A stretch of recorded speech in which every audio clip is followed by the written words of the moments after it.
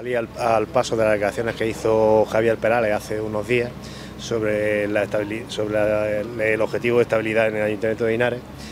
Una vez más vuelve a demostrar que no, sabe cómo, interpretarlo.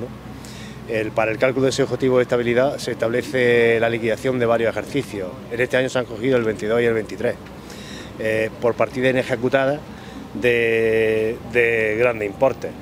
En el 22 saben ustedes quién gobernaba, ¿no? Porque yo sí lo sé. Y este año sale con ese déficit debido a, esa liquidación. No afecta para la aprobación del presupuesto, porque como bien se sabe, la regla, la regla de gasto está suspendida desde hace dos años, desde la, pandemia. Aún así, el 13 de febrero se corroboró por el Consejo de Ministros se corroboró eh, que se suspendía también el, hecho de tener que subir, tener un superávit del 0,2% en los presupuestos locales y dejarlos todos eh, como equilibrio presupuestario. ¿Quiere decir entonces que ese, informe de intervención eh, no impediría que se aprobaran los presupuestos en caso de llegar el momento de hacerlo?